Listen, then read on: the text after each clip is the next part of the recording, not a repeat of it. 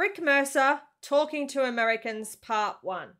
G'day guys, how's it going? My name is Aussie Tash. Okay, it's finally happening. We are going to watch Rick Mercer Talking to Americans. You guys have been throwing it in the suggestions on Discord and on YouTube for so long. Let's get into it. Really excited. But before we do, guys, please make sure to jump on, smash that subscribe button, hit the notification bell, so when I do videos and live streams, you'll know they're coming. Okay, let's get into it. Rick Mercer talking to Americans. Let's roll. Hello from Washington, D.C., or as they say on the hill behind me, the center of the center of the universe. Everywhere you look in this town, there is no mistaking where you are. It is celebrated at every single turn. You are in America. America the strong, America the free, America, our next door neighbor. Yeah. They are our greatest friends, our strongest allies. They are kind, they are generous. They have an uncanny ability to go on at great lengths on subjects they know absolutely nothing about. I've spent a lot of time traveling in America, and I've spoken to many of its people, and I've come to a conclusion. And I have a confession to make. Oh no. My name is Rick Mercer, and I love America. and yes, this is Talking to America. Oh my gosh.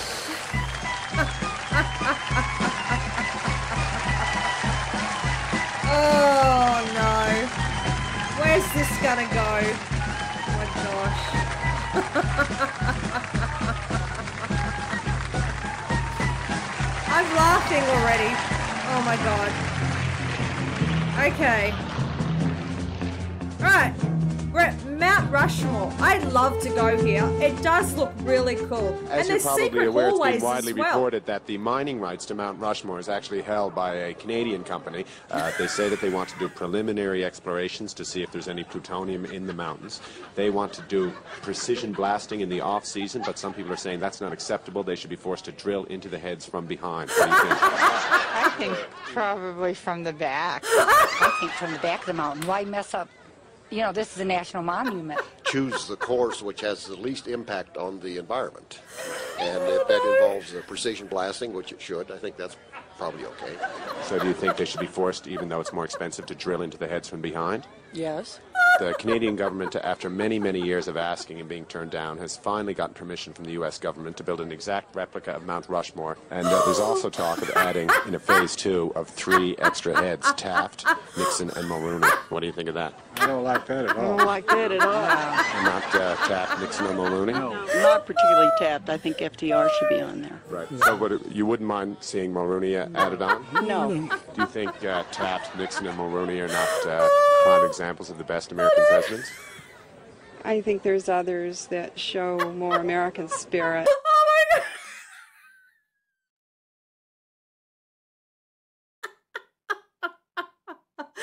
Didn't Nixon get impeached for the whole Watergate thing? and the fact that they believe that Canadians can go in there, they have permission to drill into the back of their heads at Mount Rushmore, this national monument. they actually believe that they can do it.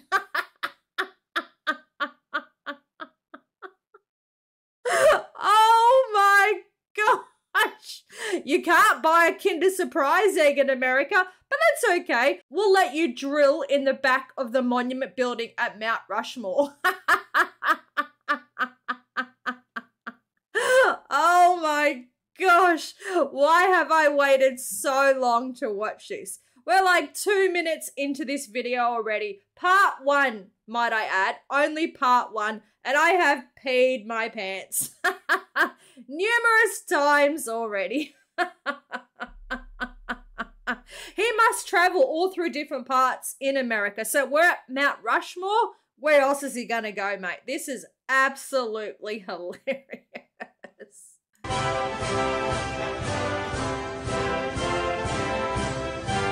We're doing a story on a mountain in Canada that will be inspired by Mount Rushmore, and it's going to have Canada's most famous Eskimo president on it, and his name was Mulroney Yuck. Congratulations. Canada on Mount Maroney Yuck.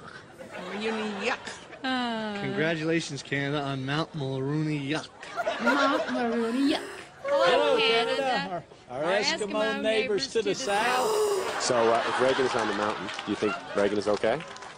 Yeah? They're gonna put him on. Yeah, yeah, he was the president. Yeah. Yeah, they all have their faults, and he was one of them. so. Yeah. And if uh, Reagan's on the mountain, should they have Mulroney's feet sticking out of the backside?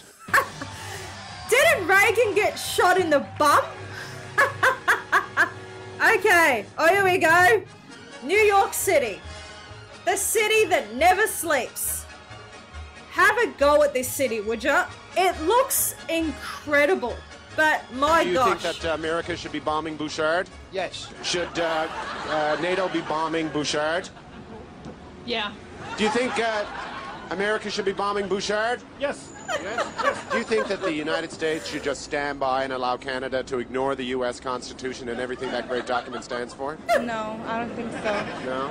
No. Congratulations, Canada, for legalizing insulin. Thank you. Thank you. Thank you. And do you think that uh, America should uh, attempt to uh, free Nelson Mandela? Yes.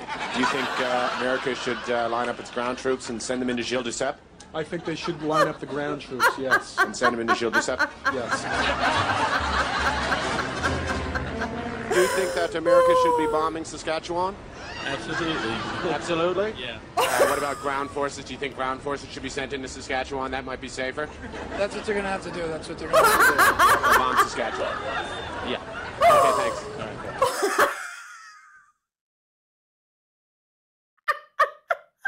oh my gosh! Do you think Americans should bomb Saskatchewan? Yes, yes, they should. Absolutely. Do you think Americans should send ground troops into Saskatchewan? Yes, if that's what's required. they have no idea where Saskatchewan is. It's in Canada. You guys want to go invading Canada just because some guy says, Do you think that you should? Here's a question for you. Do you think that they believe that Rick Mercer is American?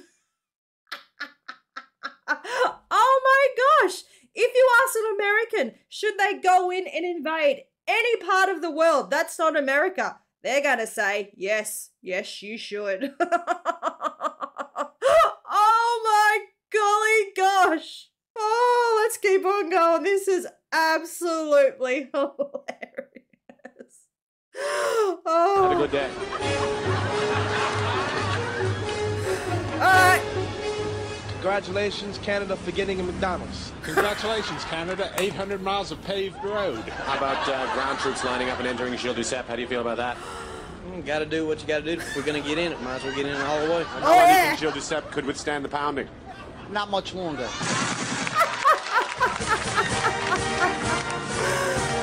Okay. Just read it to yourself, and then if, if you want to. yeah. To the Right Honorable Paul Martin Jr., Prime Minister in waiting. I'm not sure how to say that. How do you say that? Tet. Ted de merde. Dumer. Ted, Ted Dumer. Tet du merde. Tet de merde. Excellent. Ted Dumerd, Ottawa, Canada. Given that 2001 has been declared the year of the senior citizen, we demand that the Government of Canada discourage the Canadian tradition of placing senior citizens on northern ice floes and leaving them to perish. Yeah, I, I'll sign that. So what are you studying again? History. Right, very good. Uh, I definitely believe that uh, senior citizens shouldn't be placed on ice floes. And you're a prof here? Yeah. How many years? Nine. You like it? Yeah, it's good. Good score. Yeah. We're doing So a they story believe on Canada uh, the does Russian that. invasion of uh, Chechnya and Saskatchewan, and the Russians keep invading that area. And uh, we're wondering whether peacekeepers should be sent into uh, Saskatchewan to protect the civilians. I think so, definitely. I think peacekeeping is number one priority for international relations. Do you feel bad for the people in Chechnya and Saskatchewan? Yes. And uh, you're studying Russian? I'm studying Russian. Do you find that, that there's not enough coverage on the news about the Russian in- invasion into uh, Saskatchewan? I, well, I haven't actually heard about the Saskatchewan invasion. I've only heard about Chechnya, actually. So there's not enough coverage about There is Saskatchewan. no Saskatchewan invasion. Canada discourage the Canadian tradition of placing senior citizens on northern ice floes, leaving them to perish. Dude, that's not a thing. Betty Fair Dinkum thinks that it is, and they're signing the petition and everything.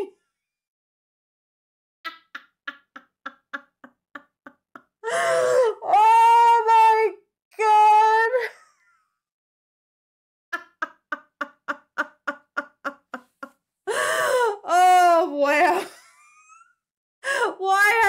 taken me so long to watch this.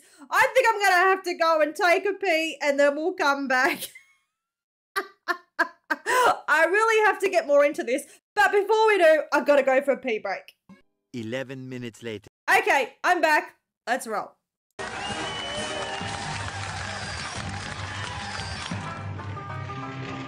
All right.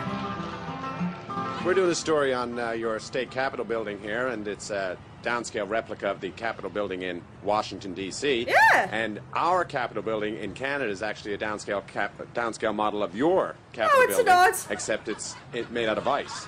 It's an igloo, you see. And we're, we're, we're worried about global warming and the fact that it might uh, melt, so we're putting a dome over it. But in order to pay for it, we have to attract tourists. Would you be interested in visiting the uh, Canada's national igloo? Absolutely. Yeah? Sure. Congratulations, Canada, on preserving your igloo. Congratulations, Canada, on preserving your national igloo. Yes, indeed. Well, congratulations, Canada, on becoming part of North America. Thank you very much. As of the year 2000, we'll be part of North America. Do you think that's a good idea? I don't know. Would you pay money to visit Canada's national igloo? I don't plan on ever going up there. No. No? Nope. I never heard of a building made out of ice anyway. You never heard of an igloo? Well, yeah, but not a scaffold. Well, it's Canada. Sounds right. As part of the new millennium, one of the things we're doing is going to get a new currency. We want to oh. call it the Canadian dollar, but the U.S. Treasury says that they own the name dollar for their currency, just like in Britain it's called the pound, in America it's Oh, called the no. dollar. We want to call our, ours the dollar, but they don't want us to call it the dollar. They want us to call it the loony. what do you think of that? He's got no idea, mate. As part of the Millennium celebrations in Canada, the King of Canada will be doing a tour of the United States and be visiting Arkansas. His name is King Lucien Bonhomme. King Lucien Bonhomme, welcome to Arkansas. Look, it has a loon on it. This poor guy's got no idea. Who's the governor of Arkansas now? Uh, this is Mike Huckabee. Mike Huckabee. Mike Huckabee. Does he have an education at all, or? Oh yes, he, he's uh, he's a college graduate. I think he is edu- college educated, though, at least. There you go, He yeah. seems like an intelligent guy. Yes, he does. Do you think he would know much about, say, Canada-U.S. relations, anything like, or anything about Canada? I would think so. I would hope so. you would think so. You would hope so. I recently did a video. Um, I recently did a video, and Dave Thomas, his name. Sorry, I recently just did a video, uh, and Dave Thomas was talking about why Canadians are funny. He summed up Americans perfectly. He called them American centric. They all focused around America. So I'm not quite too sure how much these people actually know about any other country outside of America. I guess we're going to find out. Here's the governor. Hi, I'm Governor Mike Huckabee of Arkansas, wanting to say congratulations, Canada, on preserving your national igloo. Thank you, Governor. Thanks for being part of 22 Minutes. Thank you. The most watched news team in Canada. No Excellent. way. Thank He didn't believe that. you. Oh, Canada. Oh, no. We are on top. We're close to the North Pole. The governor of Arkansas fair Manitoba can believe Dutch. that. Wow. Oh yeah, I like this one. That's hilarious. Buchenstarben. Yeah, Buchenstarben for your cup of coffee. Yeah, right? so in, in Manitoba, because they only speak Dutch and all the signs have to be in Dutch. If you want to open a Starbucks here, your sign has to say Buchenstarben. Yeah, you can put Starbucks under it, but it has to be smaller. But it has to be smaller. He's a troublemaker, Rick Mercer. Oh my gosh. Hold on. Okay. We're in San Francisco now, eh?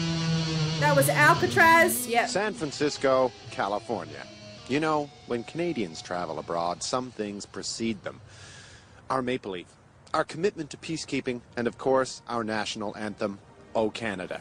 it is known, it is loved, it Yeah. is respected. It's It cool, is mate. seared in the psyche of all Americans. Oh, A great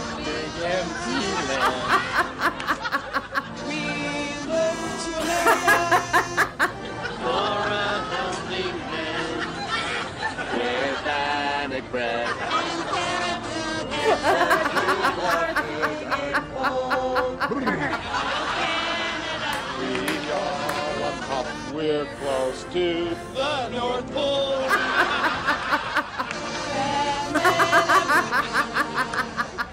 Manger Canada, A lovely winter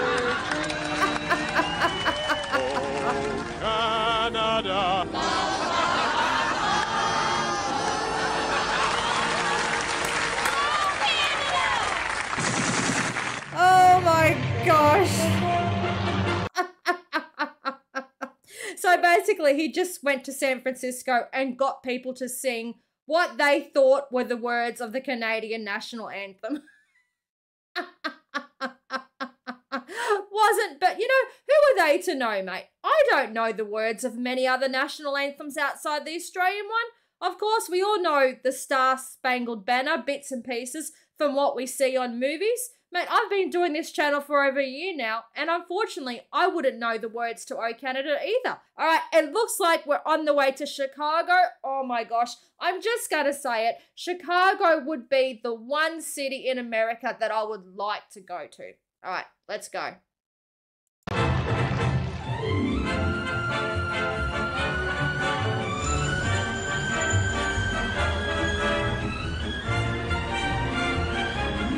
Well, we're doing a story on the fact that in Canada, there's a motion in the Canadian government to actually change the name of Canada to Chicago.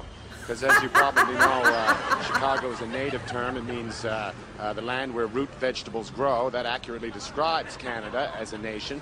We're wondering what uh, people in Chicago think of that idea. Why would they want to take the name of Chicago? That belongs to us. That belongs to us. awkward. No, they can't take our name. It's our name. I think that'd be pretty cool, yeah. Great, that I'd be honored, man. I think Yeah. we would all party. So you don't like the idea? no, I certainly do not. Congratulations, Canada, on getting FM radio.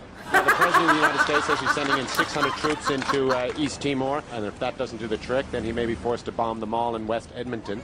Bomb who? The West Edmonton. They could bomb East Timor and West Edmonton. Do you think that's a possibility? Um, yeah, I mean, it could be a possibility. He's going to be forced to bomb the mall in West Edmonton. Do you support that? No! Yes, I do. Oh! Yes. Congratulations, Canada, on getting a volunteer fire station. Congratulations, Canada, on getting grade nine. Oh, oh my gosh!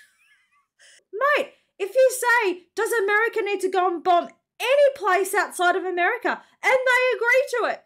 West Edmonton, it's a mall! and back then, when this was recorded, it would have had that roller coaster and everything. Oh my god! They want to go in and blow up the West Edmonton Mall and that cool roller coaster. Don't you love the little bits where, you know, congratulations, Canada, for getting your first McDonald's. congratulations, Canada, for getting FM radio. oh my god.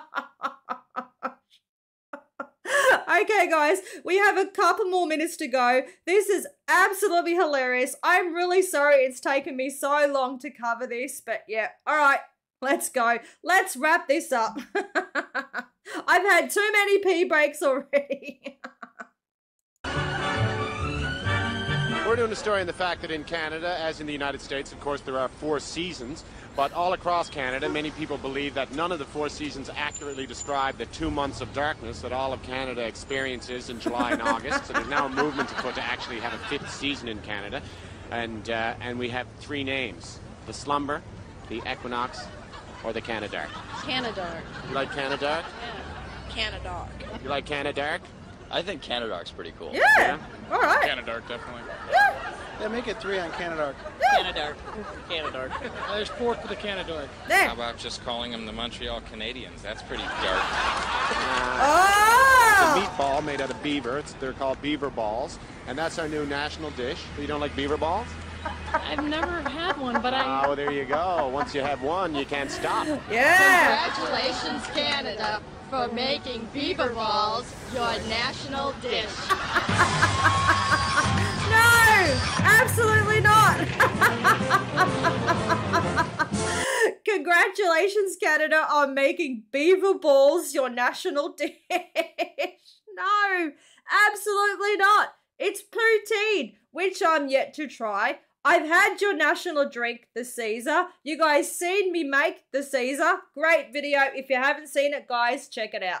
Okay, it looks like we've got one more city to visit in this video. Let's go.